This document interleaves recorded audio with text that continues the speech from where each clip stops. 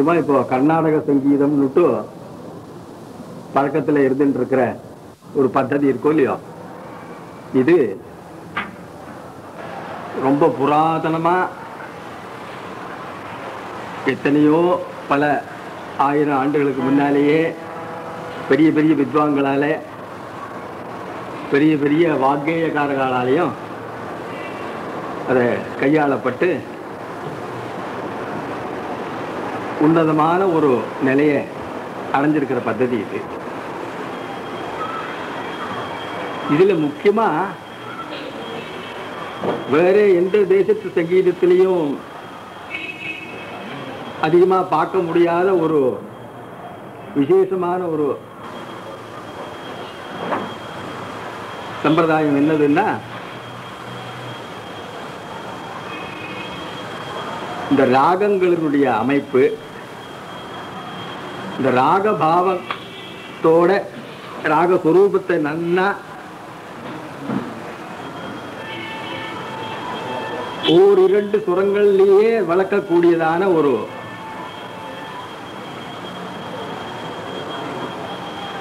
ஒரு தன்மையில அதனுடைய சேர்க்கை காம்பினேஷனை அமைச்சிருக்கிறது. சுரங்களுடைய அசைவுகள் அதான் கமகம்னு நம்ம சொல்றோமா இப்போ? அது. இதெல்லாம் தான் முக்கியமா? நம்ம சங்கீதத்தை வேற எந்த தேசத்திலையும் இல்லாத ஒரு விசேஷமான அம்சத்தோட இவ்வளவு உயர்வா அதை நிறுத்தின்னு வந்திருக்கு. ஆனா இந்த அசவுங்க எதுக்குமே எந்த துறையா இருந்தாலும் சரி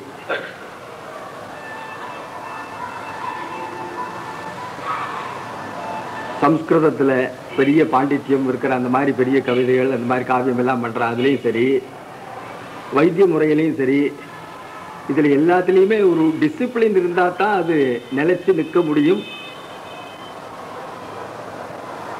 கௌரவமாகவும் இருக்க முடியுங்கிறத நன்னா முதல்ல நம்ம மனசுல வாங்கிக்கணும். அசவுன்னு வரும்போது அந்த அசவை ஒரு ஸ்வரம் அது முதல்ல என்னன்னா இந்த ஸ்வரங்களுடைய அசவு எந்த அளவில் வா எந்த ராகத்துக்கு எப்படி வச்சிருக்கா பெரியவாள்லாம் அதை உபயோகப்படுத்தியிருக்கா. லட்சிய முறையில் அதை நன்னா தெரிஞ்சுக்கணும். இப்போ லட்சிய முறையில் முன்ன பழைய காலத்தில் இருந்த மாதிரி இருக்கிற இருந்து கேட்குற ஒரு வசதிகள் கொஞ்சம் குறவாக தான் இருக்கு. இருந்தாலும் நல்ல சங்கீதத்தை சிரமப்பட்டு வேணும்னு முயற்சித்தா கேட்க முடியும். அந்த மாதிரி லட்சியத்துல நன்னா உருவான உத்தமமான ஒரு சங்கீதம். அதுக்கு பின்னால அதை நன்னா இந்த பசுக்கள் எல்லாம் அந்த அசைவு போடுறதுன்னு சொல்லுவா. அதாவது முதல்ல அது ஆகாரத்தை உட்ப- புல்லு எல்லாத்தையும் ஆகாரத்தை உட்கொண்டு விட்டா அதோட நிறுத்தாது அது அப்புறம் சாவகாசமாக ஒரு இடத்துக்கு போய் படுத்துக்கிட்டு திருப்பி அந்த ஆகாரத்தை வெளியில வ- வ- வரவழைச்சு மறுபடியும் அது அது அதனுடைய உடல்நிலைக்கு எப்படி அதை பண்ணினா அது ஒத்துக்குமோ அந்த மாதிரி உள்ள அளவுக்கு அது அதை பக்குவமாக அதுவாக பண்ணிக்கும்னு சொல்லுவா. அந்த மாதிரி ஒவ்வொரு ஸ்டூடெண்ட்டும் சரி வித்வான்களும் சரி அதுக்காக அப்படி சிரமப்படணும். அதுதான் அவன் முன்ன என்ன சொல்லிருக்கான்னா பழைய உருவுகள் அதாவது நம்ம எல்லாமே இப்போ ரிஷி புரோக்தம்னு சொல்லுவா. இப்போ எல்லாத்துக்கும் ஒரு கான்ட்ரவர்சி இருக்கு. அது யாரு இப்போ தியாகியர் பண்ண கீர்த்தனை பண்ணாரான்னு கேட்டால் நமக்கு நிச்சயமா சொல்ல முடியாது. பண்ணாருங்கிற நம்பிக்கையில தான் நம்ம பண்ணிட்டு இருக்கோம். இன்னொருத்தர் பண்ணாரான்னு கேட்டால் அதை சொல்ல முடியும் அதே மாதிரி தானே எல்லாருக்கும் இருக்குது. வால்மீகி ராமாயணத்தில் எழுதினாரா? அந்த கேட்டால் நம்ம நிச்சயமா நான் நான் எழுதுறது பார்த்துட்டு இருந்தோம். இல்லை. அதனால ஒரு அந்த ரிஷி புரோக்தம்ங்கிற மாதிரியில் அவ பெரியவாள் சொல்லிக்கிட்டு இருந்த அந்த வரமுறையாக வந்துட்டு இருக்கிற ஒரு நம்பிக்கையில வந்துட்டு இருக்கு ஆனா இது நிதர்சனமா அந்த நம்பிக்கையில் நம்ம இதுல ஊடுருவி பார்த்தோம்னா அவன் என்ன சொன்னாங்கிறது நல்லா புரியும். இது அண்ணா ஊடுருவி பார்த்தா தான் புரியும். இந்த சுரங்களுடைய அசவு இந்த ராகத்தை நன்னா ஒவ்வொரு அதாவது நம்ம அந்த இன்னைக்கு லட்சிய ராகமா இப்போ எத்தனையோ வருஷக்கணக்கா இன்னும் நன்னா ஆரோக்கியமா ஆயுசோடு இருந்துட்டு இருக்கிற ராகங்கள் சிலது இருக்கும் இல்லையா? பாக்கி ப- பல நாங்கள் இருக்கு ஏதோ நடுவில் புறப்படும் அப்புறம் இருக்கிற இடமே தெரியாது அப்புறம் கொஞ்ச நாள் கழிச்சு இன்னொருத்தர் ஆறாவது கலப்போம் இப்படி வந்துட்டு இருக்கோம் அதுல அது வேண்டாம்னு சொல்லலைண்ணா. நான் அது எங்க வைக்கணுமோ அந்த அளவோட வச்சுட்டு இருக்கோம்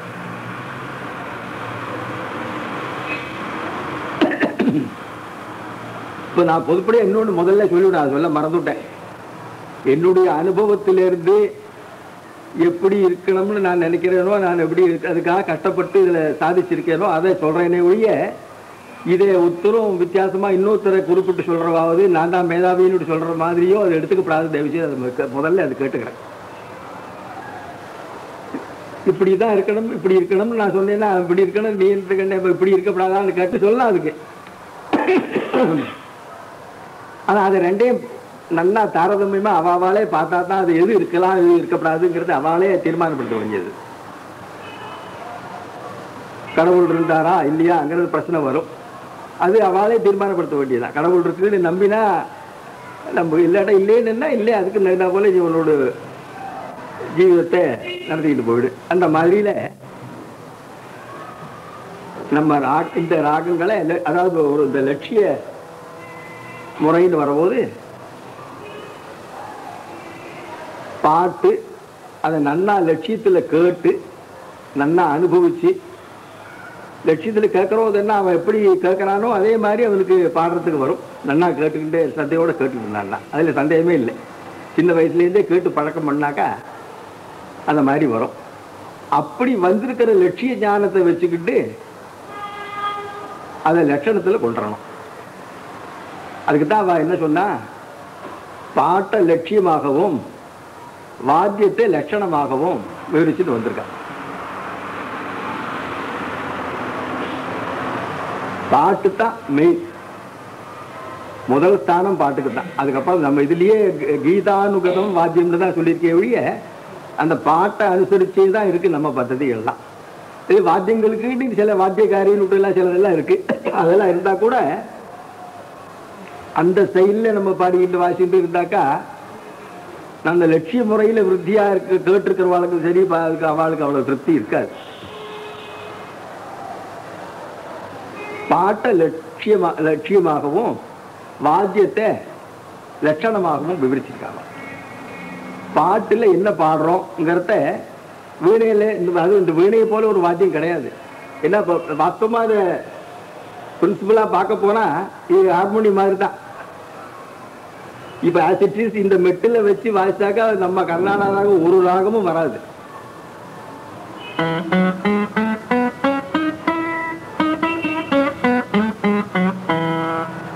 இது சங்கராபரணம் தான்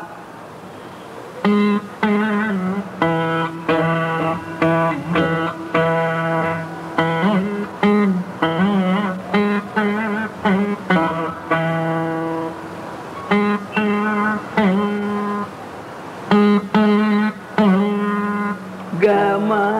கான்னு இருக்கு. இந்த இதுல மா அங்க இருக்கு. ரீ இங்க இருக்கு. இந்த காவுக்கு இந்த ரீலே இது வரும்போது கூட இந்த ரீக்கு ஒரு லேசான ஒரு பிரஷர் வரலையானால் இந்த சங்கராபரணத்தினுடைய ஜாடையே வராது. இல்ல வராது. அது நன்னா பாடியோ வாய்ச்சோ பார்த்தா தான் தெரியுது.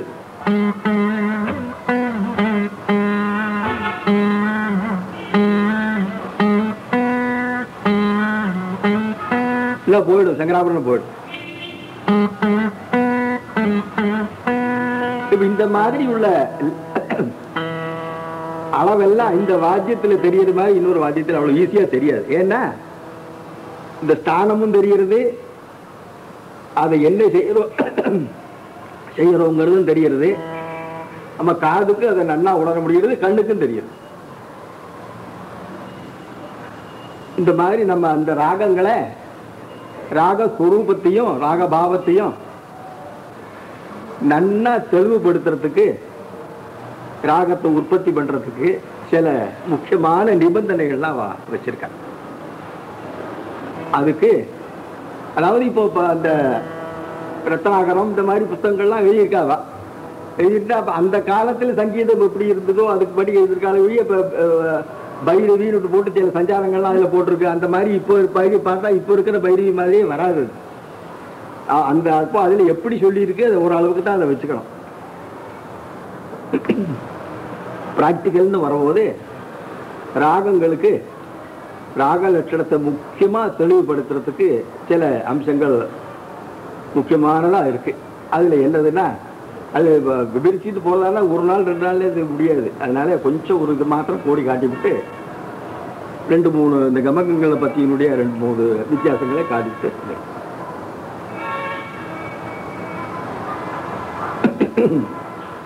ராகத்தை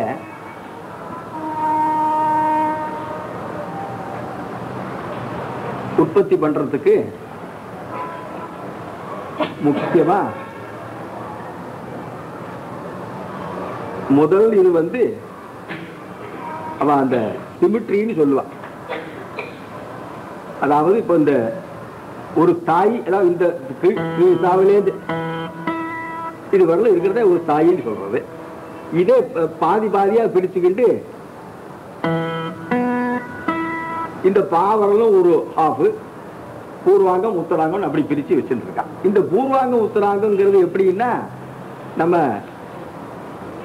மனுஷாவுடைய இடது வலது இருக்கோ இல்லையோ இதுக்கு சமானமா சொல்லலாம். இடது இடது பக்கம் வலது பக்கம். இது சாதாரணமா ஒரு லட்சண புருஷன் ஒரு லட்சணம்னாக்கா இடது பக்கமும் வலது பக்கமும் ஒரே மாதிரியா இருக்கணும்.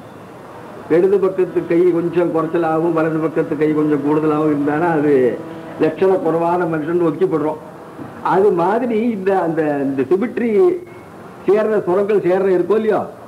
இது சரியான சிமிட்ரிக்கலா சேரலையானால் லட்சண குறைவான இந்த லட்சண கு- எதிர்க்க கூட அவன் வரப்படாது வந்தா காரியம் நடக்காதும்பா. அந்த மாதிரி அந்த லெவல்ல தான் அந்த இந்த சிமிட்ரி இல்லாத ராகங்கள் எல்லாம் அவன் வச்சிருந்திருக்கான் அதுக்காக அதுக்காக லட்சணம் இல்லாத குறவா இருக்கிறோம் உசுரோட தான் இருந்துட்டு இருக்கான். அவனும் ஜீவனம் பண்ணிட்டு தான் இருக்கான். அதை போல அந்த ராகமும் இருந்துட்டு இருக்கு. இது பழைய பெரியவாளுடைய அபிப்பிராயம்.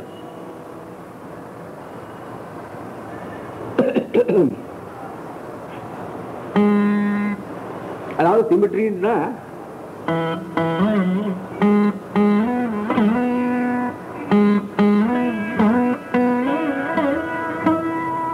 இந்த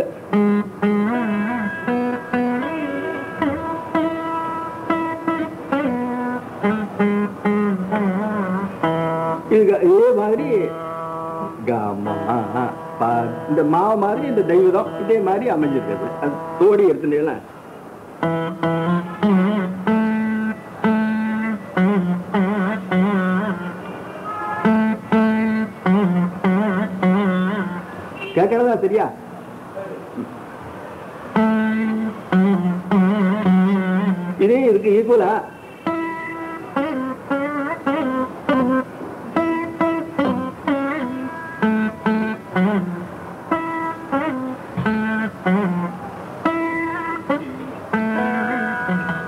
தான் வந்துட்டு இருக்கு.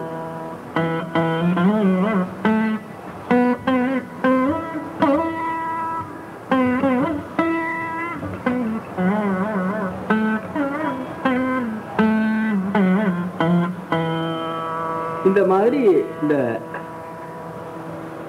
லட்சியத்துல தோடி கல்யாணி காம்போதி பைரவி இந்த ராங்கள்லாம் இந்த ஓரளவுக்கு இந்த சிமிட்ரி இருந்துட்டு இந்த சிமிட்ரிய அதாவது எப்போ இந்த சாதாரணமா எப்படி சரிகமா ஈக்குவலா பதனிசா இது எவ்வளவுதான் வரும்? சில காம்பினேஷன்ல தானே வர முடியும்.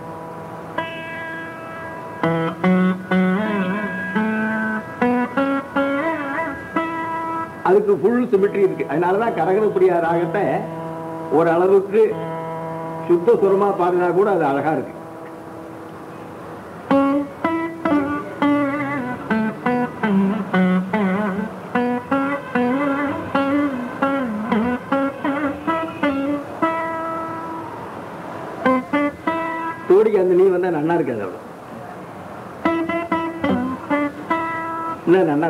நம்ம தோழி மாதிரி இருக்காது. அதுக்கு பொருத்தமா இருக்கும்.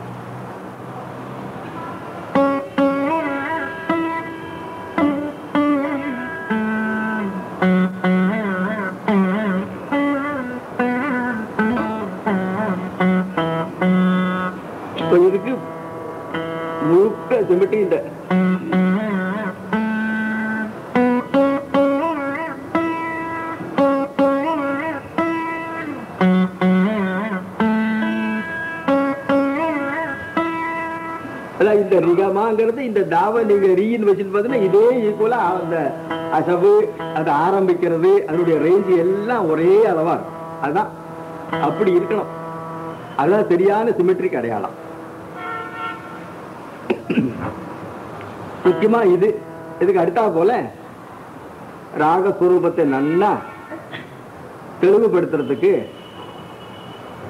ஞாசஸ்வரம்னு சொல்லுவான் அதுதான் ரொம்ப முக்கியம் சங்கீதத்துல.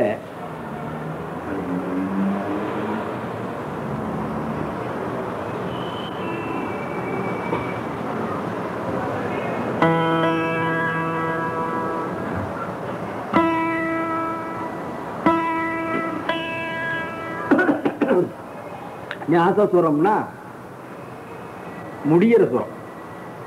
அதாவது ஒரு ராகத்தை நம்ம ஆலாபனம் பண்ற போது எப்படியுமே இந்த சின்ன சின்ன பிரேசஸா ரெண்டு சுரமா இருந்தாலும் சரி நாலு சுரமா இருந்தாலும் சரி அந்த சுரங்களுக்குள்ள அந்த ராகம் நன்னா போஷிப்பா தெரியணும் அந்த ராகத்தினுடைய பாவம் தெரியணும். இன்னொரு ராகத்தினுடைய ஜாடை வரக்கூடாது. இதுதான் மெய் இது இப்படி இருக்கிற போது இந்த நியாசஸ்வரத்துக்கு என்ன முக்கியத்துவம்னா?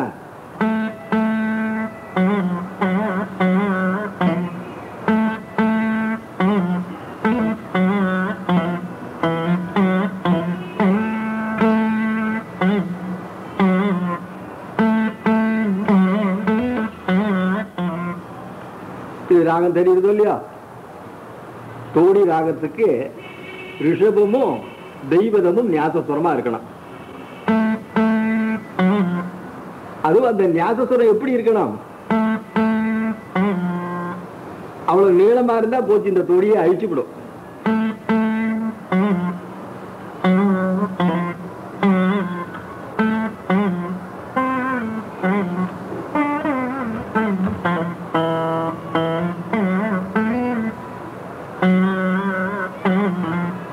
இப்ப இந்த இடமெல்லாம் அதான் இதுதான் கொஞ்சம் கொஞ்சமா இதை தொட்டு தொட்டு போச்சுன்னா எங்க போறது தெரியாது. அதனாலதான் வரவோது வரும்போது அதோட கூடவே சொல்லிவிடுறேன் இதை.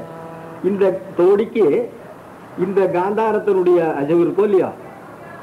இந்த தோடியை போல இந்த சாதாரண காந்தாரத்தினுடைய அசைவு ரேஞ்சு வேற ஒரு ராகத்தும் கிடையாது.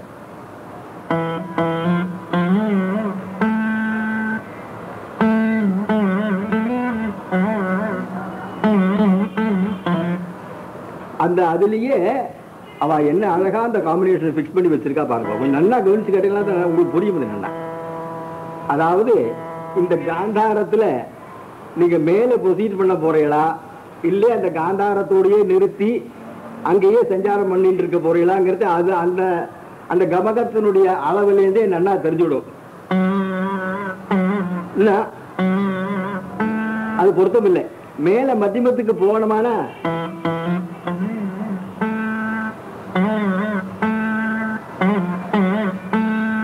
அதே மாதிரி திரும்பி ஒரு என்ன பொருத்தம் இல்லை. அது நல்லா குறையணும் அந்த காதரம்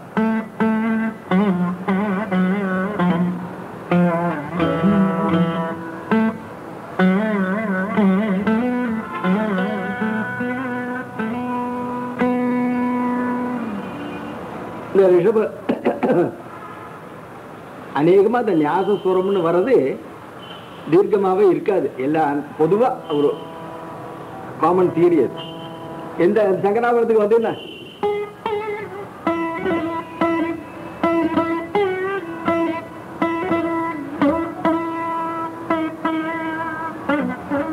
இது சங்கராபரணம் இல்லை உடனே தெரியும் கல்யாணி தான் அது. அந்த நீக்கி தீர்க்கம் வந்தாலே போரும் சங்கராபரணம் வராது கல்யாணி தான் வரும். பிரதிபட்சமா வரணுங்கிற அவசியம் இல்லை.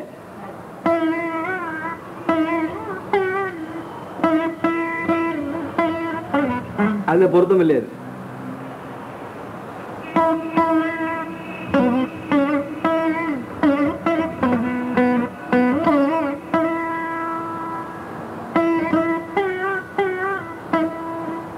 இது கல்யாணிக்கு பொருத்தம் இல்லை.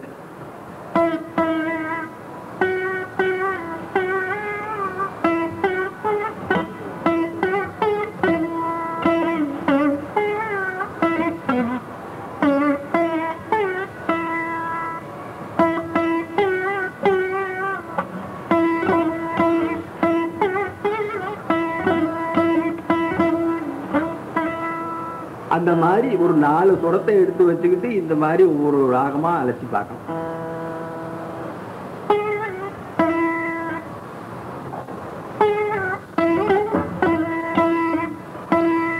அந்த வால் வரணும். அதாவது அதான் இந்த நிஷாதம் வரும்போது இந்த ஞாசஸ்வரம் வரும்போது அந்த ஞாசஸ்வரத்துக்கு தீர்க்கமே கிடையாது. நிஷாதத்துக்கு வந்ததும் சவுண்டு நின்றுனாங்க இல்லை போச்சு? ராகமோ மூஞ்சி இல்லைன்னு சுளுக்கிறது ஒரு மாதிரி. இல்லையா?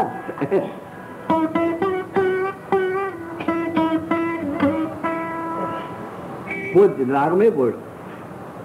அது துளி ஒரு இதுல இருந்தாலும் இவ்வளவு வேற்றுமை தெரிகிறது. இந்த வாத்தியத்துல இப்ப இப்படி இருந்தாக்கா இந்த வாத்தியத்துக்கு பக்கத்துல கையை வைக்க முடியாது.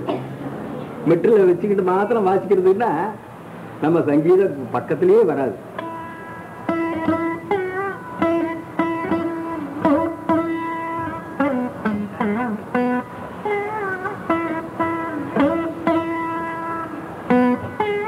ஸ்ருதி சேர்றது இல்லை சொல்ல இப்போ இந்த சஞ்சா இந்த இந்த குரூப் இருக்கோ இல்லையா? அது ஆரம்பம் சரியா அந்த காந்தாரத்தோட சேரணும். இல்ல போச்சு. அது அதாவது என்ன இழுக்கத்தான் இருக்கிறேன் இப்போ நான். கமகம் தான் இதுவும் ஆனா அந்த கமகத்துக்கு அளவு இல்லாத போயிடுறது. எங்கேருந்து ஆரம்பிக்கணும். எவ்வளவு எவ்வளவு அது நீளம் இருக்கணும். அதனுடைய ரேஞ்ச் என்னங்கிறதெல்லாம் போயிடுது அடிபட்டு. அப்போ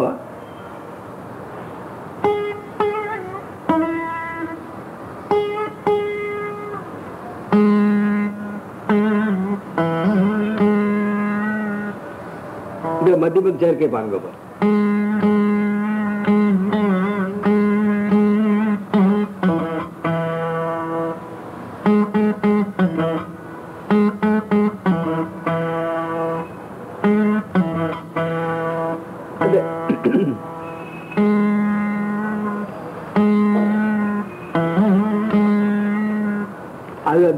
ஸ்தானத்தை தொடர்றது அவ்வளவு. அங்கேயோ கிடக்கிறது ஸ்தானம். அப்படி வாய்ச்சாக்கா நம்ம ராகமே வராது.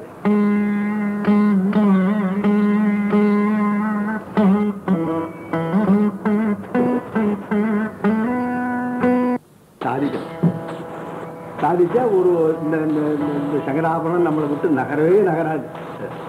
அதே மாதிரி இப்போ இந்த ஞாச கோடி கோடியில் ஆரம்பிச்சு சங்கராபரணத்தில் வந்துடுது.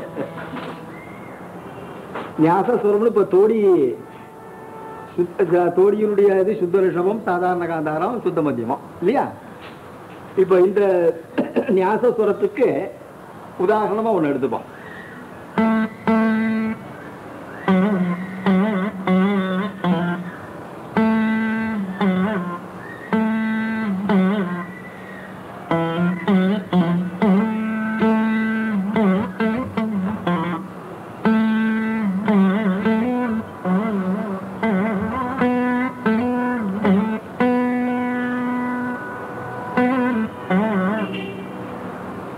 காந்தார நியாசமா இருக்கு ஞாச சுரமா இருக்கு. அப்ப காந்தா ஒரே ஒரு ரெண்டு மூணு சுரங்கள் ஒரு ராகத்துக்கு நியாசமா இருக்கலாம். இருக்கிற போது அது எப்படி இருக்கணுங்கிறதுக்கு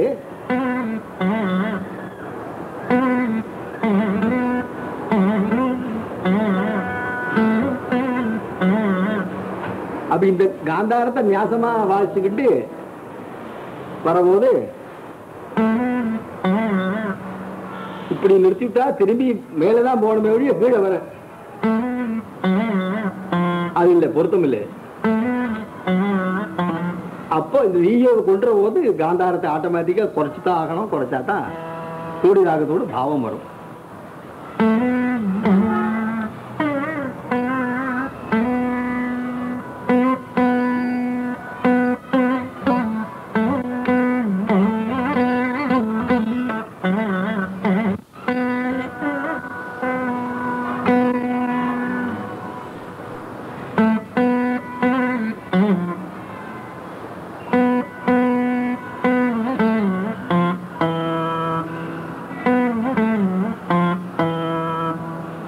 என்ன மாறுதல் ஏதாவது தெரியுறதா தெரிஞ்சா சொல்லுங்க.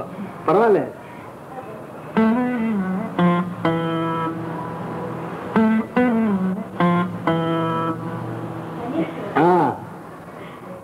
இது தோடி இல்ல. ஞாசஸ்வரமும் மாறி போச்சு. இந்த காந்தாரத்தினுடைய ஷேப்பும் மாறி போச்சு. இந்த அளவு தனியாசிக்கு வராது.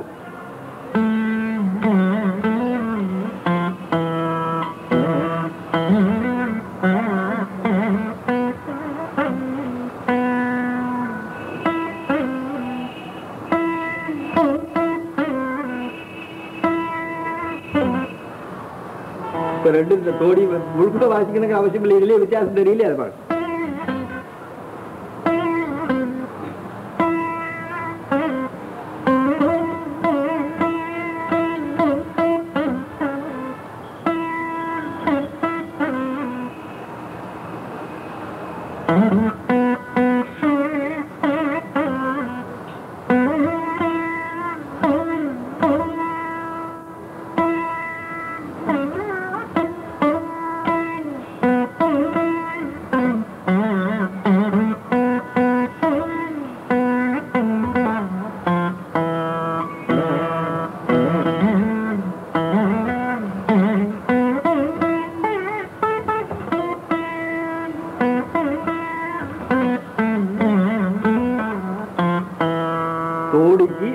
ரிஷபமும் தெய்வதமும் மெயினா ஞாசஸ்வரமா வந்துட்டு இருக்கணும் ஞாசஸ்வரமா வரும்போது அது தீர்க்கமா வரக்கூடாது. தன்யாசிக்கு பஞ்சமமும் ஷட்ஜமும் இதே மாதிரி.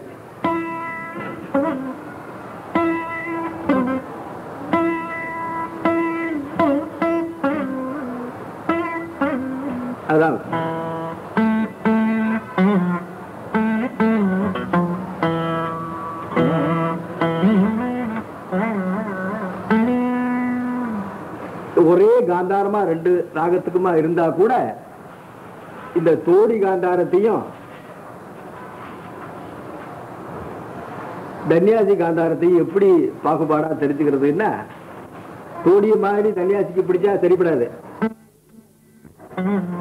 அப்படி அந்த அசைவே வராது. அதுக்கு முக்கியமான என்ன காரணம்னாக்கா தன்யாசி ராகத்துக்கு போற போது சகமா தான் இருக்கு சரிகமா கிடையாது. அதனால இந்த காந்தாரத்தினுடைய ரேஞ்சு கீழே வர ரேஞ்சு குறையும். அப்படிதான் இருக்கும்.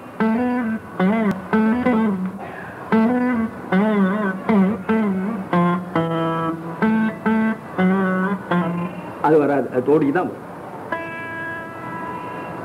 இந்த ஒரே சுரங்களுடைய அமைப்பிலேயே இந்த சின்ன இந்த ஞாபகங்களுடைய வித்தியாசத்தினாலையும் அதனுடைய அசவுகளுடைய சின்ன ஒரு பேதத்தினாலையும் இவ்வளவு இப்போ தோடி தன்யாசிங்கிறது நன்னா சுத்தமா வாசிச்சு பாடினாக்கா நன்னா பெஸ்டா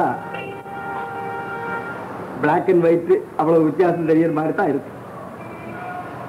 இல்லையா? கொஞ்சம் பக்கத்துல பக்கத்துல கூட இல்லை. நான் சரியா இருந்துதானா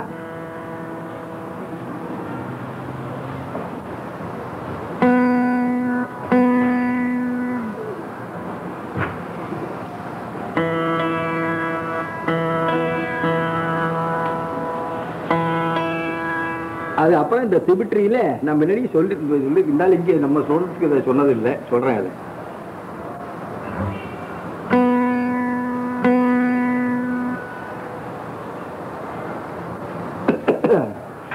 அப்ப- ஒரு குறிப்பிட்ட ஒரு பர்டிகுலர் ஒரு சிமிட்ரியை தான் வச்சுக்கிட்டு இருந்தோம்னா ராகங்கள் ஜாஸ்தி ராகங்கள் டெவலப் ஆகாது. அதுக்காக அவ என்ன பண்ணியிருக்கா? இந்த சிமிட்ரியை இந்த சரிகமா பதனிசான்னு அவ பிரிச்சுட்டு இருக்கா இல்லையோ? இந்த சரிகமாக்கு ஈக்குவலா பதனிசாங்கிறது சிமிட்ரி வச்சுட்டு முதல்ல. இப்போ அதே இப்படியே வச்சுருந்தா இருந்தா ஜாஸ்தி கிடைக்காது உங்களுக்கு. அப்போ என்ன அதை சிமிட்ரியை மாத்தி இந்த தனிதப்பாவுக்கும் தனிதப்பா பமகனின்னு வச்சுக்கலாம். இல்ல மகரிசா நீதப்பா அந்த மாதிரி இப்படி மாத்தி சிமிட்ரியை வச்சிருக்காங்க அமைச்சிருக்க அதில் அந்த ராகத்தில் ஒரே ஒரு உதாரணம் சொல்றேன்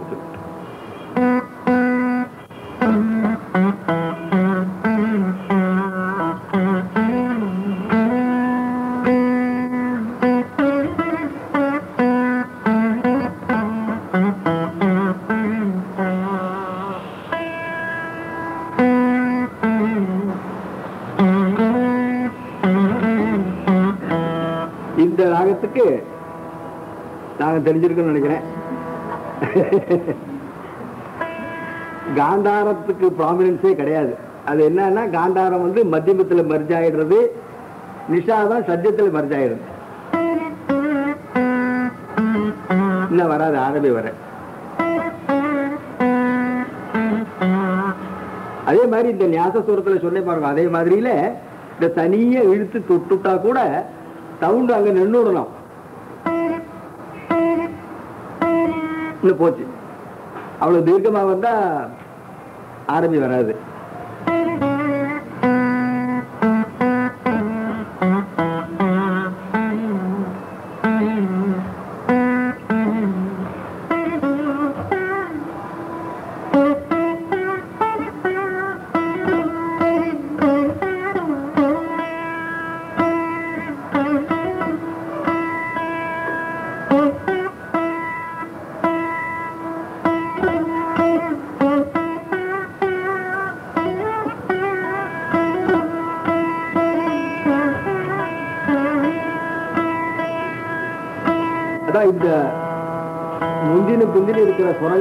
அந்த ராகங்களுடைய அமைப்புக்கு சுத்தமா வந்துவிட்டானா அந்த வாய் சுட்டு நிறுத்துற போது அந்த சஜ்ஜத்திலேயே அந்த ராகம் கேட்கும் கேட்கணும். அதான் அதுக்கு சரியா இருக்காங்கிறதுக்கு ப்ரூஃப் அதான்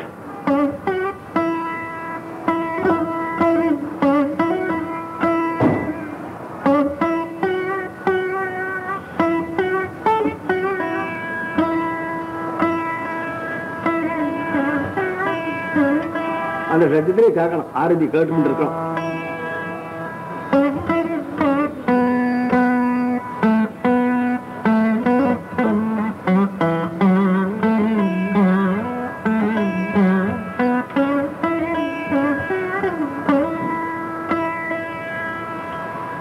ராகத்துக்கு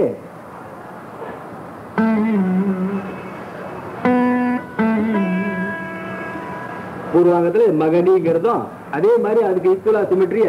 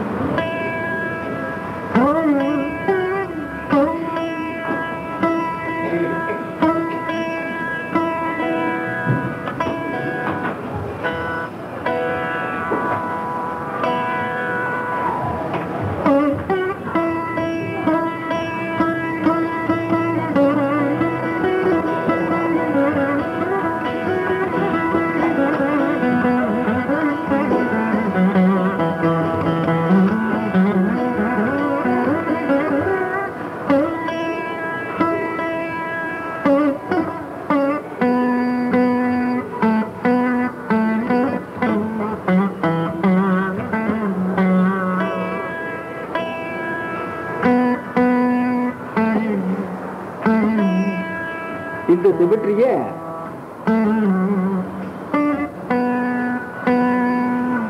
இப்ப அரபி கேட்கறதா கேட்க அது வந்தா போற சுருட்டி வந்தாச்சுங்க.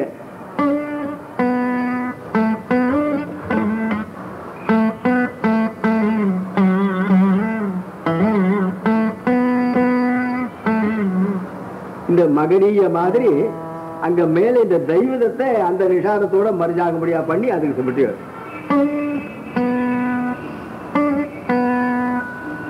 அதாவது எப்படி இந்த ஆரபிக்கு இந்த இல்ல. அதுவும் சுருட்டிக்கு பொருத்தமில்லை இதுக்கு இந்த ஆரபிக்கு எப்படி இந்த நிஷாதம் அப்பட்டமா வந்தா அது நல்லா இருக்காதோ அதே மாதிரி இந்த சுருட்டிக்கும் இந்த தெய்வதம் அப்பட்டமா வந்தா அவ்வளவு சாக்கியமா இருக்காது.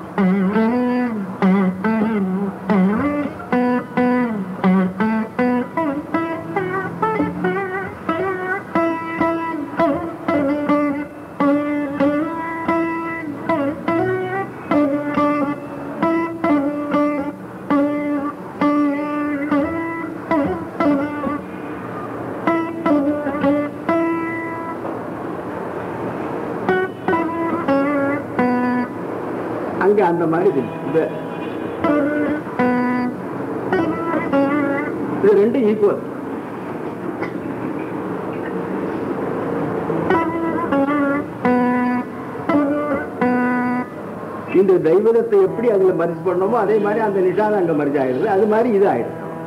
இப்போ இந்த சுமிட்ரிய மாற்றத்தினால இவ்வளவு அழகான சுருட்டி ராகமும் ஆரபி நமக்கு இந்த மாதிரி ராகங்களை வெறுமனு சுரத்தை மாத்திரமா வச்சுட்டு பர்மிட்டேஷன் காம்பினேஷன்ல கொண்டு வந்தா இந்த லட்சணங்கள்லாம் வராது அது. அதனாலதான் அது ஒரு மாதிரி ஒரு ஒரு அளவுக்கு அதை ஒதுக்கிவிட்டு இந்த மாதிரி பிராதானியமா கொடுத்து இதுலயும் இன்னும் எவ்வளவு தினசு அந்த மாதிரி? இப்போ இந்த இது இது இருக்கும் இல்லையா இந்த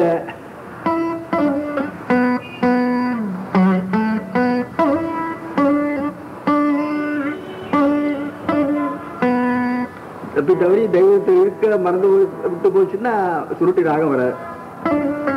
என்ன வராது சுருட்டி ராகம் வராது.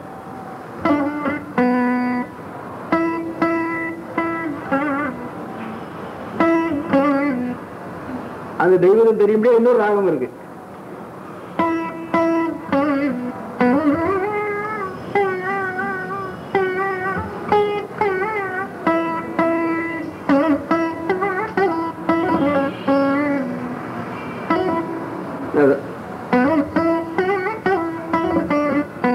போச்சு? கேதார கூட வராது. அந்த ஒரு துளி ஒரு நுட்பத்துல எவ்வளவு வித்தியாசப்பட்டு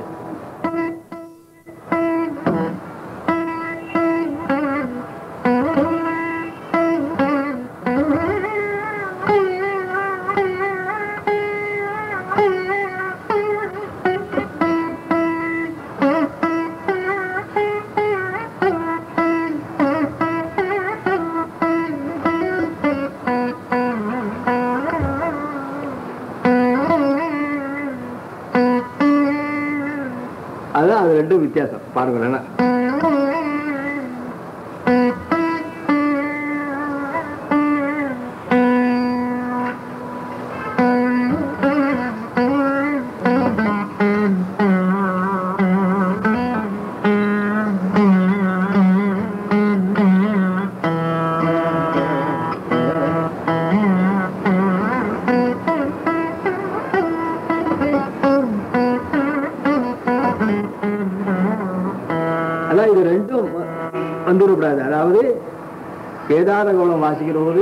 தப்பித்தபடி தெய்வதத்தை இழுத்துடக்கூடாது சுருத்தி வாசிக்கிறவங்க இழுக்காம இருக்கக்கூடாது.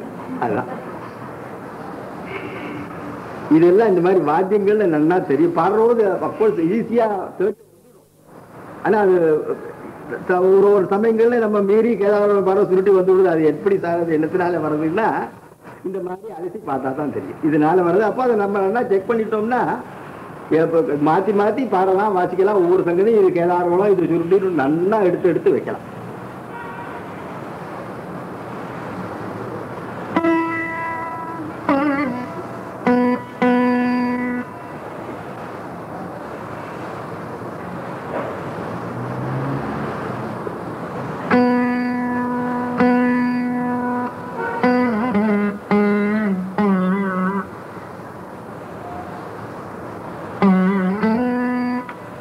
அப்புறம் இந்த முக்கியமான சில காம்பினேஷன்ஸ்னால ராகங்களை நன்னா ஒரே சுரஸ்தானங்களா இருந்தா கூட அது வேறுபட்ட ஒரு பாவத்தை கொண்டு வர முடிகிறது ஒரு ராக பாவத்தையும் அதனுடைய ராக சுரூபத்தையும் நன்னா தெளிவாக கொண்டு வர முடிகிறதுங்கிறத இந்த இந்த மாதிரி காம்பினேஷன்ல பார்க்கலாம். இப்ப நம்ம வாசி அதாவது அந்த சுரங்களுடைய சேர்க்கை அந்த சுரங்கள் சேர்க்கிற போது அதனுடைய ரிஸ்வ தீர்க்கம் அதாவது நெடில் குரல் அந்த மாதிரி சொல்ல- அதனுடைய கார்வைகள் நிறுத்த வேண்டிய இடத்துல எந்த சுரத்தில் நிறுத்த வேண்டியது எதை அசைக்காம வாசிக்க வேண்டியது அந்த மாதிரி உள்ள நல்ல நிபந்தனையோட அமைக்கப்பட்டிருக்கிறதுனால அது இந்த ஒரு ஒரே சுரமா சுரங்களா இருந்தா கூட அது நன்னா வித்தியாசமா தெரியும்படியா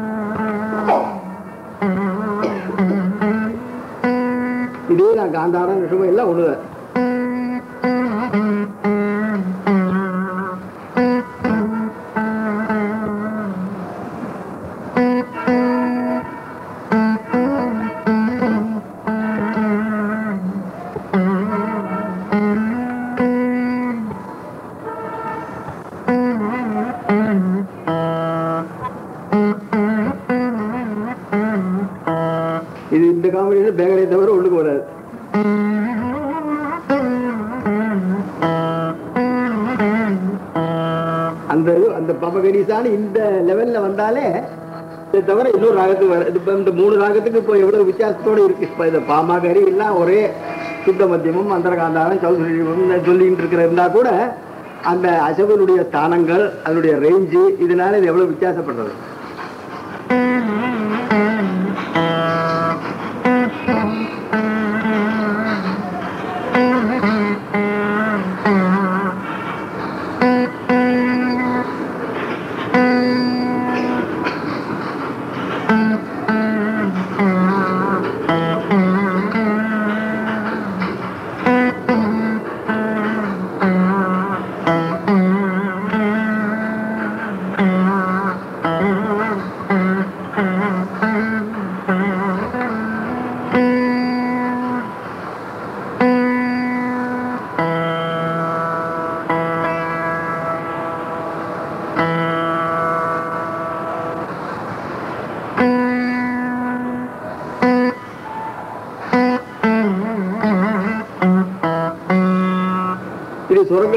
மாறினா கூட அதனுடைய இதே மாறிப்படுறது இப்ப இந்த ரிஷபத்தினுடைய அந்த ஸ்தானமே மாறிவிடுது. அதெல்லாம் போச்சு.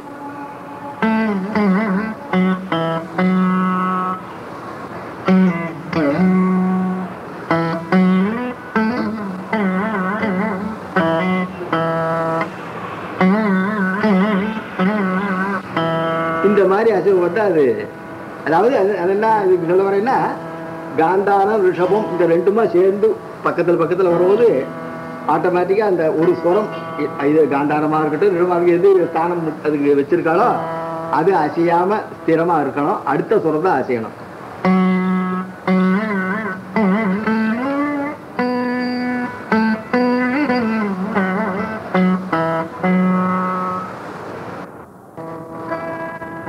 போயிட்டே இருக்கு எட்டு வருஷத்துக்கு விட்டா ஏன்னா இந்த இன்னொரு சின்ன ரெண்டு மூணு கூட சொல்லிவிட்டு அதை முடிச்சு விடுறேன் அப்படி இல்லை. இல்லை ஒருத்தர் தூரம் இல்லை வந்திருப்பாரு சொல்றேன். ஏ? ஓ.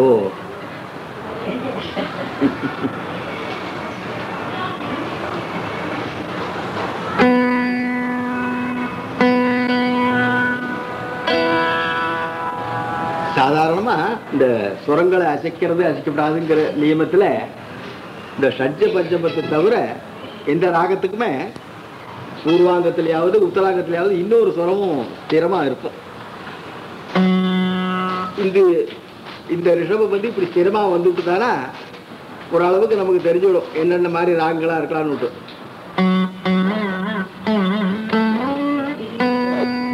அதுவா இருக்கலாம்.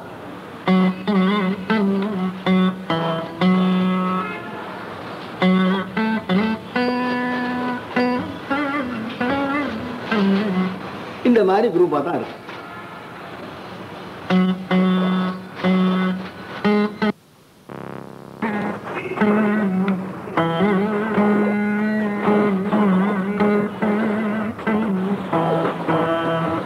அப்படிதான் இருக்கணும். அந்த மாதிரி இருக்கலாம். இல்லைடா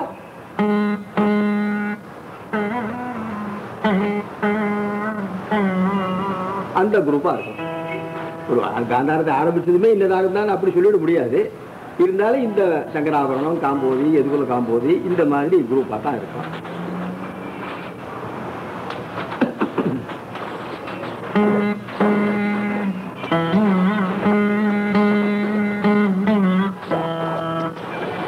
அந்த ஞாசஸ்வரத்தினுடைய ஒரு இன்னொரு முக்கியமான ஒரு தன்மையை இப்போ சொல்றேன்னா அதுக்குதான்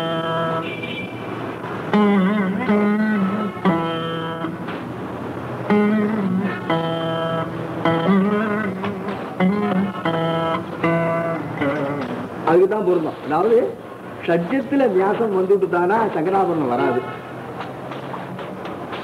காம்பூரி தான் கொண்டு விடும் அது ஏன்னா இதுக்கு சங்கராபரணத்துக்கும் காம்பூரிக்கும் பொதுப்படையா இருக்கிற சஞ்சாரங்கள் நிறைய இருக்கு.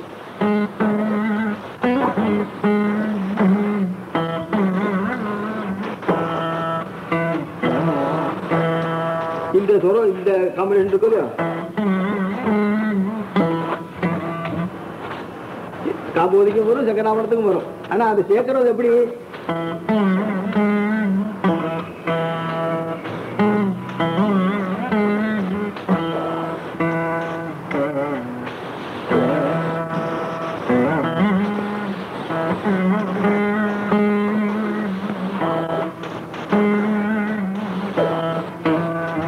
அது வரலாம் இல்ல. காம்போதியோட நிறுத்திருக்காது வரணுமானா சஜ்ஜத்திலேயே நிறுத்திக்கிட்டு ஞானம்.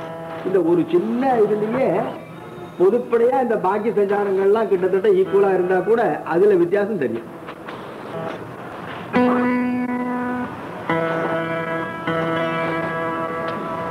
உசேனிங்கிறது ஒரு ரெண்டு மூணு ராகமா பிளெண்ட் பண்ண ராகம் அது.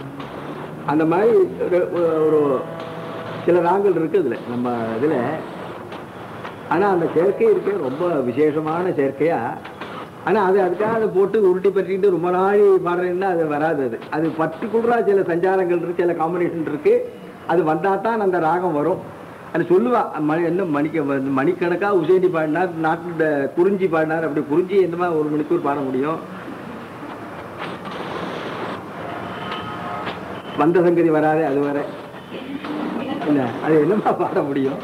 இதெல்லாம் எக்ஸாஜினேஷனுக்கு ஒரு லிமிட்டே இல்லாததுக்கு சொல்ற வார்த்தைகள். அதாவது என்ன அர்த்தம் அதுக்கு? நான் எனக்கு என்னுடைய அபிப்பிராயம் நான் தெரிஞ்சுட்டு சொல்றேன். இந்த உத்தமமான இந்த காம்பினேஷன்ஸ் இருக்கும் இல்லையோ இது பர்ஃபெக்டா வந்துட்டு தானா திருப்பி திருப்பி இது ரிப்பீட் பண்ணாலும் அது ரிப்பீட்டேஷன் மாதிரி தோணாது புதுசு புதுசா பாடுற மாதிரி தான் இருக்கும்.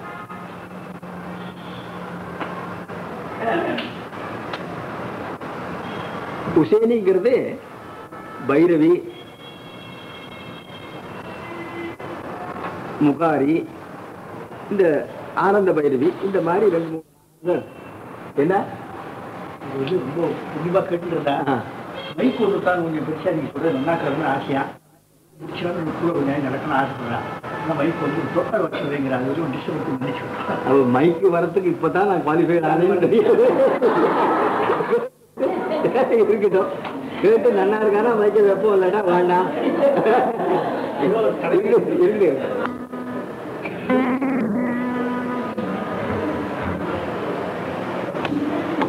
இருக்கு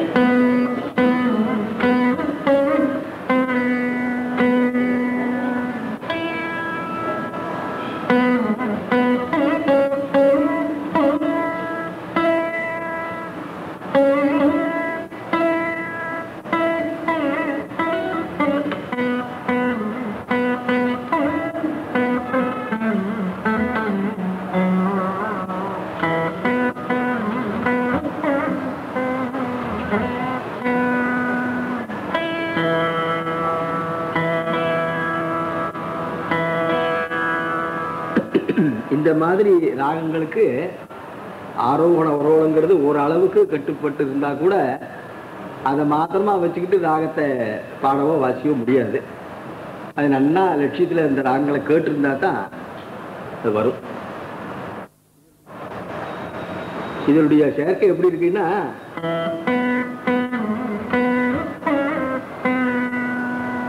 மெயினாக இதுதான்.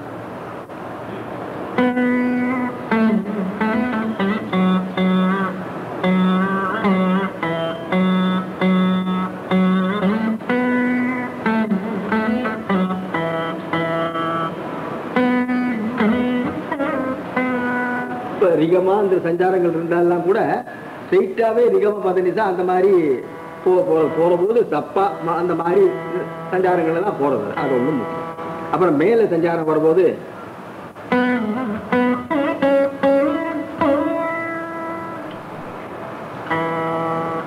தனிசாங்கிற சஞ்சாரம் இதுக்கு இருக்கு. முகாரிக்கு தனிசா கிடையாது. பதசா தான் போகும்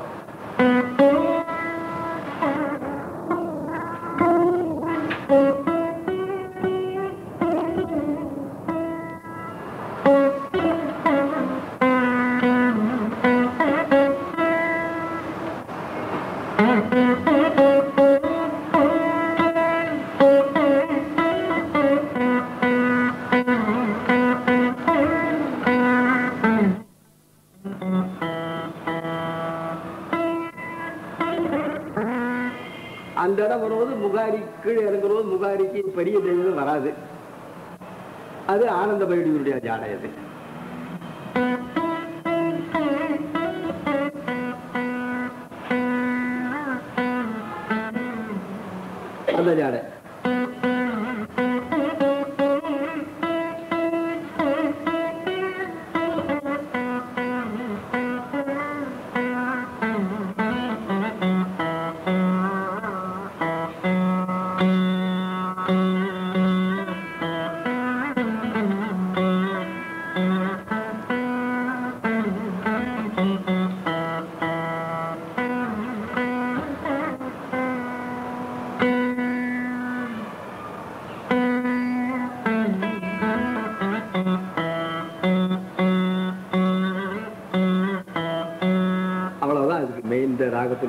காம்பினேஷன் அவ்வளவுதான். இதுக்கு மீறி எதாவது பண்ணா பைரவியிலையோ முகாரியிலையோ கொண்டு ஆட்டோமேட்டிக்காக கொண்டு விட்டுடும் விஷயம் இருக்காது அதில்.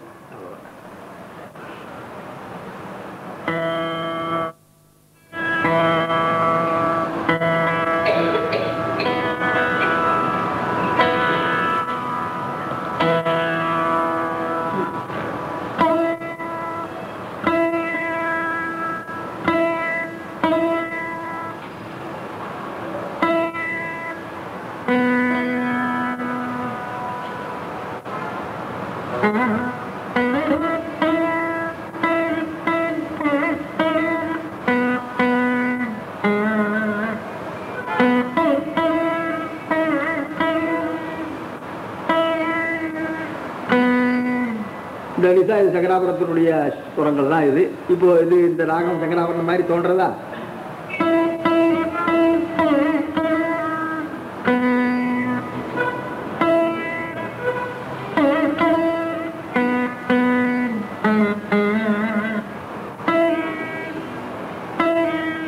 இந்த ஸ்தானமே வேற.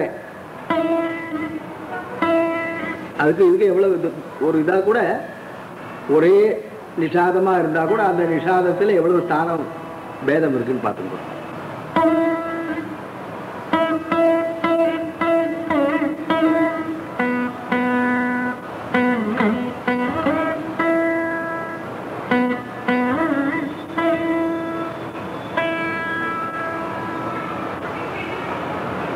இந்த ஸ்தானம் இவ்வளவு இந்த பன்னெண்டு சுரஸ்து சுரஸ்தானங்களுக்கு மேலே இருக்கு.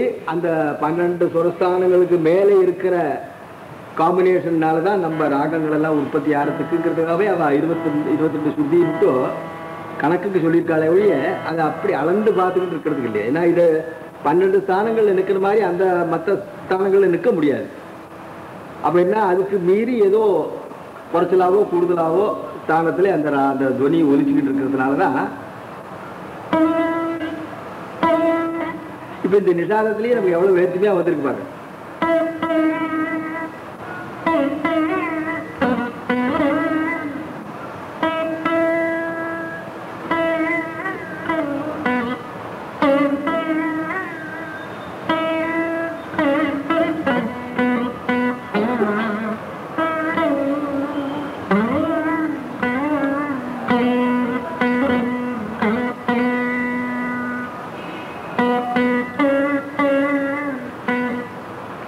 அந்த தானே எங்கேயோ கிடக்கிறது.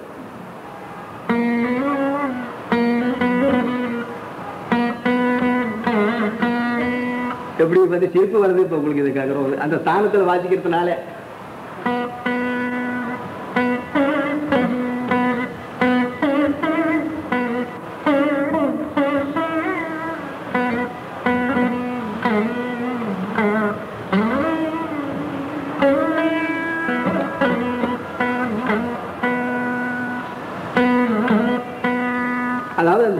சங்கராபரணத்துக்கு தனிசா வந்தோ இல்லையோ அதனுடைய சிமிட்ரி இது.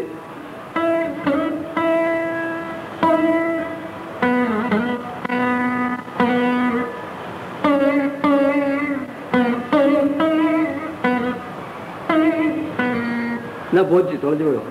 கல்யாணியே போயிடும்.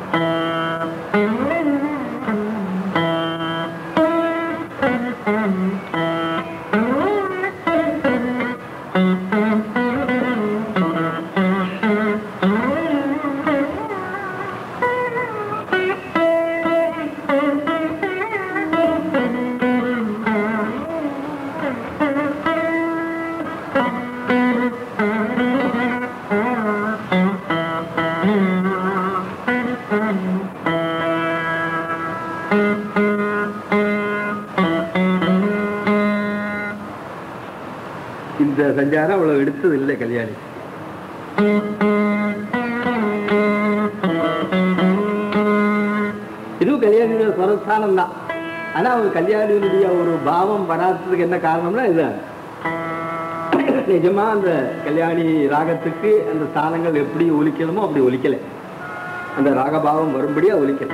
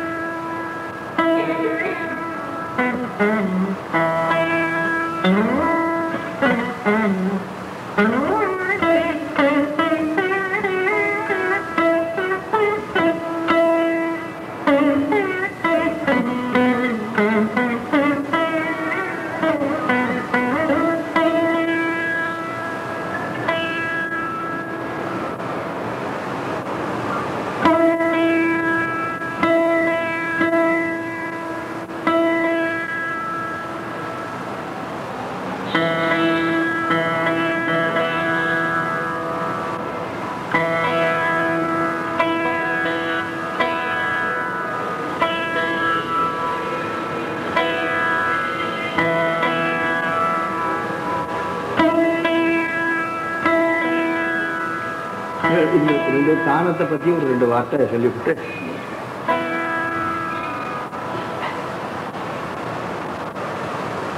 தானம்ங்கிறது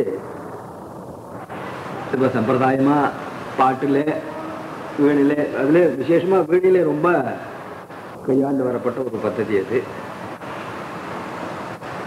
அதுல வீணையில என்ன ஒரு விசேஷம்னாக்கா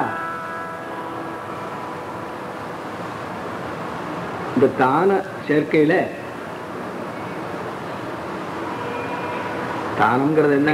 ஒரு சுரங்களை எட்டு சுரம் இந்த மாதிரி முதல் அமைச்சுக்கிட்டாக்கா அந்த எட்டை பிரித்து பிரித்து வாசிக்கிறது. ஆனால் பிரிச்சுட்டுன்னா ஒரே ஈக்குவலாக இல்லாமல் நாலு நாலு எட்டு அந்த மாதிரி இல்லாதக்கு மூணு மூணு ரெண்டு மூணு ரெண்டு மூணு இந்த மாதிரி மூணுங்கிறது முக்கியமாக வந்துட்டுருக்கோம் அதில் வரும்போது நடுவில் இந்த மீட்டு விழாத இடங்கள்ல இந்த தாளத்தந்தி லேசாக ஒழிக்கணும் அது என்ன அது ஒழிக்கிறோம் அது என்ன அந்த அத- அந்த மீட்டு விழாத இடத்துல என்ன சாகித்யம் இல்லாத இடத்துல அர்த்தம் வருது அதுதான். மீட்டுங்கிறது என்ன இதுதான். கையில் பேசுறது தான் சாகித்யம். அதான் நான் சொல்லிவிட்டேன் முதல்ல பாட்டு தான் முதல். பாட்டுக்கு ஈடு ஒன்றும் கிடையாது. அதுக்கப்புறம் தான் வாத்தியம் அதுக்கு. பாட்டு எப்படின்னா ஒரு ஒரு வஸ்துவை ஒரு இல்லது ஒரு ஜந்துவை எதையோ ஒன்று ஒரு யானையை தான் நேரில் பார்க்குற போது எப்படி? அது சித்திரத்தில் பார்க்குறது போது எப்படி இதுக்கு ரெண்டும் தான் வித்தியாசம். சித்திரத்தில் பார்க்குற மாதிரி சொல்லலாம் அது வாத்தியங்களை. நேரில் பார்க்குறது எப்படியோ அது மாதிரி சொல்லலாம் பாட்டு. இந்த பாட்டுனுடைய ஒரு ஒரு அறிவும் அது இருந்தால் தான் வாத்தியங்களில் விசேஷமாக ரேஸாக வர முடியுங்கிறது என்னுடைய ஒரு நம்பிக்கை ஒரு அபிப்பிராயம். அது எப்படியானா ரெண்டும் இது இப்போ வா பா சரி கேட்குறவாலும் சரி இப்போ ரொம்ப நன்னா அந்த யானையை நேரில் பார்க்குறோம். நேரில் பார்க்குற போது யானையை பற்றி தெரியுது. தெரியுது அது சித்திரத்தில் பார்க்குறோம். பார்க்குற போது நன் ரொம்ப நன்னா இருந்துவிட்டால் நம்ம என்ன சொல்கிறோம் யானையை நேரில் பார்க்குறத விட இது அழகாக இருக்குன்னு விடுறோம் அப்போ அதுக்கு என்னமோ ஒரு விசேஷமான ஒரு தன்மை வந்திருக்கு. ஆனால் இப்படி சொல்லணுமானா என்ன வேணும்? அதாவது அந்த மாதிரி அந்த யானையுடைய சித்திரத்தை அவ்வளவு அழகாக எழுதணுமானால் அவன் ஆணையினுடைய ஒவ்வொரு அங்கத்தையும் நன்னா பார்த்து அந்த அளவை நன்னா தெரிஞ்சுக்கிட்டவனா இருக்கணும் அது வாத்திக்காரன் அப்படி இருக்கணும் பாட்டு மாதிரி வாசிக்கிறவன் நான் சொல்லணுமானா ஆனால் அதை ரசிக்கிறா பாருங்க பார்த்து நன்னா இருக்குன்னு அவனும் யானையை பார்த்துருக்கிறவனா இருக்கணும் யானையை பார்க்கலையானே இது என்னது என்னமோ ஒரு ஜந்து கை காலெல்லாம் நாலு கால் இருக்கு என்னமோ நடுவில் ஒன்று இப்படி இருக்கு அது புரியல சார் என்னத்தையும் எழுதியிருக்கான்னு தான் சொல்லுவேன் ஒழிய யானையை அழகா சித்தரிச்சிருக்கான்னு சொல்ல மாட்டான். அந்த மாதிரி கேட்கிறவாளுக்கும் அந்த நமக்கு அந்த அப்படியே நமக்கு வந்திருக்கு. நம்ம தென்னிந்தியாவில் எங்கே ஒரு சின்ன குழந்தை எந்த ரெண்டு முடுக்கில் இருந்தாலும் அந்த குழந்தைய பாட்டு கேட்காது இருக்கிறதுக்கு வழியே இல்லை. அப்படி பண்ணியிருந்தாங்க நம்ம பழைய காலத்தில். அந்த மாதிரி யானையை பார்த்தவன் தான் யானை நம்ம நன்னா இருக்குன்னு சொல்ல முடியும். அதை போல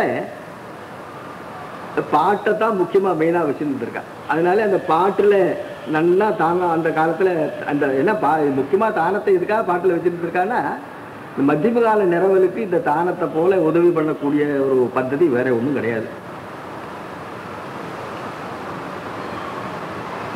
நம்ம பெரிய வித்வாங்கள்லாம் நிறவல்லாம் பண்ணுற போது ஒரு தான நடை அந்த தான ஞாபகம் தான் வருமே ஒழிய வெறுமனை கொ- அக்ஷரத்தை ஒப்பிக்கிட்டு அப்படி அந்த மாதிரி இருக்காது அப்படி வரும்போது இந்த இந்த வீணையில் தாளத்தை நம்ம கையாளுற போது இந்த தாளத்தந்தி இருக்கே இது அதுக்கு வாசிக்கிறதுக்கு இடைஞ்சலாக இருக்கக்கூடாது முதல் காரியம். அதுக்கு நம்ம வாசிக்கிறதுக்கு அடங்கி நம்ம அந்த இந்த மீட்டு இல்லாத இடத்துல இந்த தாளத்தந்தி விடுறதோ விழற போது அந்த மீட்டு இல்லாதக்கு எந்த சுரம் ஒழிக்கிறதோ அதுக்கு அது உதவியாக இருந்து அந்த சுரத்தை இன்னும் போஷிக்கும்படியாக செய்யணும். அது அப்படி வாய்ச்சா செய்யும் அது. அதான் மெயின்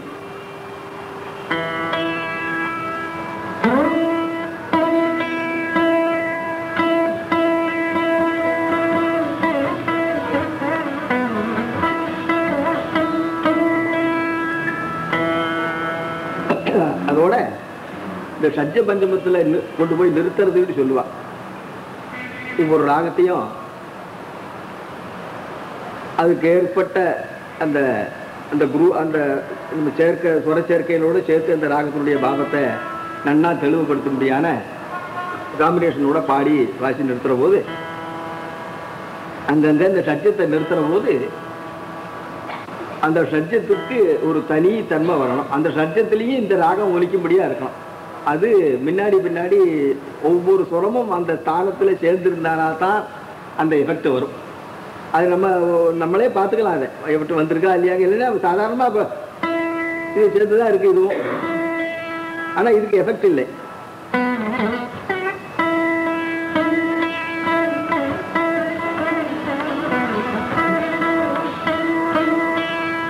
இந்த சஜத்துக்கு தனியா ஒரு வேல்யூ இருக்குதான் இருக்கு.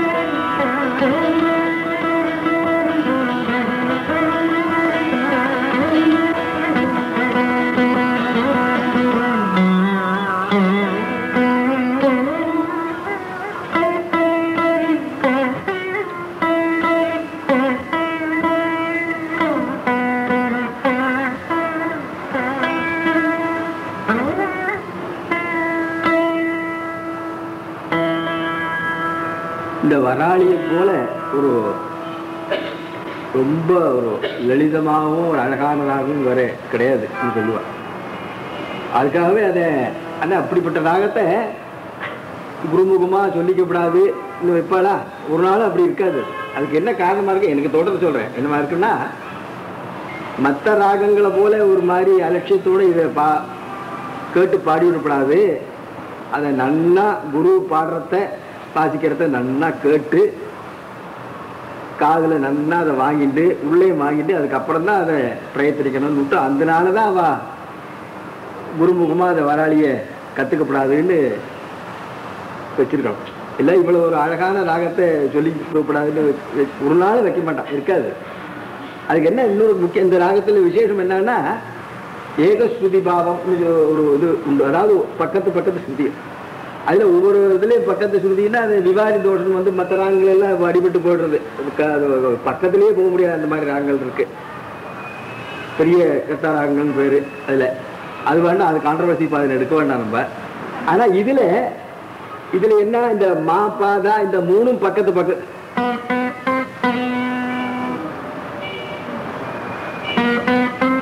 இப்படி வாய்ச்சா நான் வராளி வராது.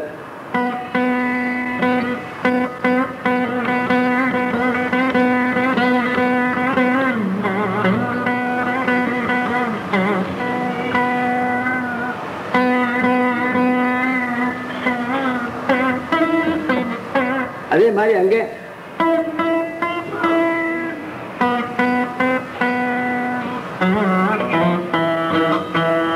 இது ரெண்டையும் சேர்க்கறதுக்கு அவன் என்ன அவன் என்ன அழகா என்ன புத்திசாலித்தனமா அதாவது சரிகம பதினி தான் பாடினா வராது வராது ஒரு நாளும் வராது. அதுக்காக அது வக்கரமா அந்த வக்கரமா அதை அமைச்சு இது வராது. அது அதனுடைய இதுவே வேறையா போயிடும் அப்புறம் கடனே வேறையா போயிடும்.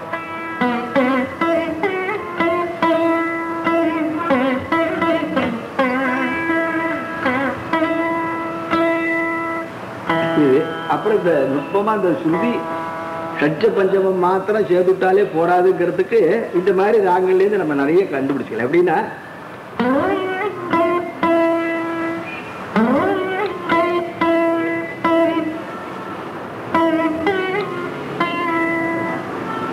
இதுக்கு ரெண்டுக்கும் வித்தியாசம் தெரியுதா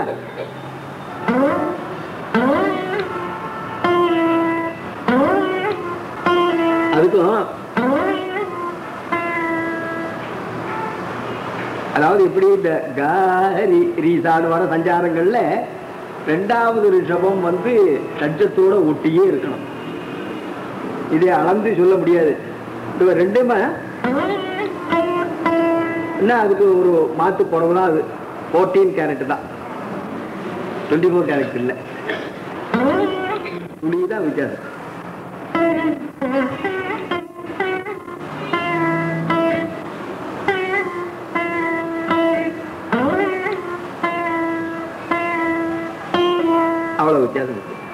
அது இந்த வாத்தியத்தில் நல்லா நிதர்சனமாக கண்ணுக்கும் தெரியும் காதுக்கும் தெரியும். அதனால தான்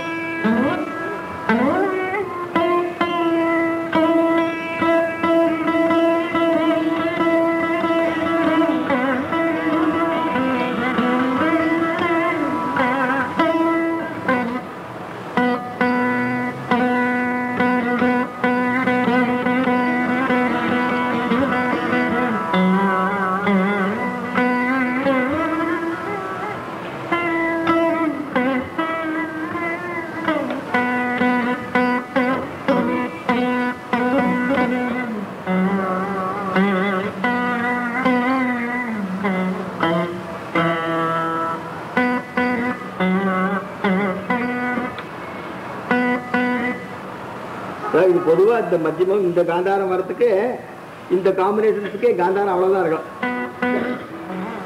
அவ்வளோ அசிக்கிறதுக்கு ஸ்கோப் இல்லை. இந்த இது இந்த மத்தியமும் பேசிவிடும் அதுல.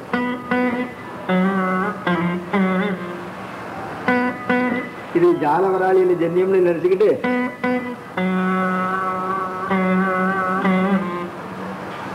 இப்படி இருந்தா அது எப்படி இருக்கு?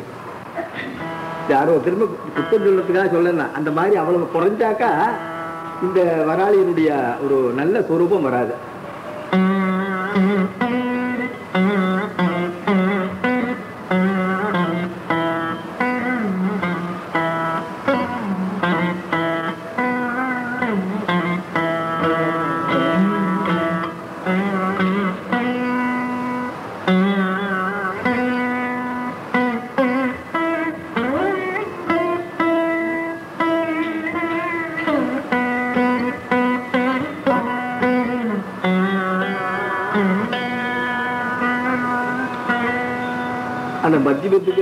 வராளி மத்தியம்னே பேரை கொடுத்து அவ்வளவு ஸ்ரேயஸாக வச்சிருக்காங்க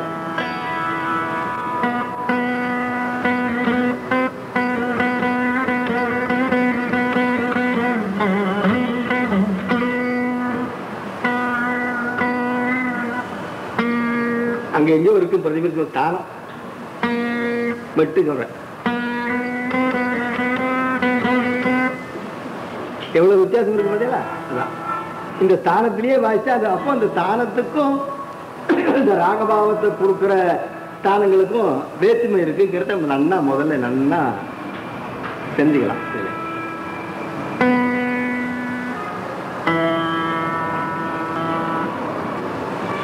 டைம் எடுத்தா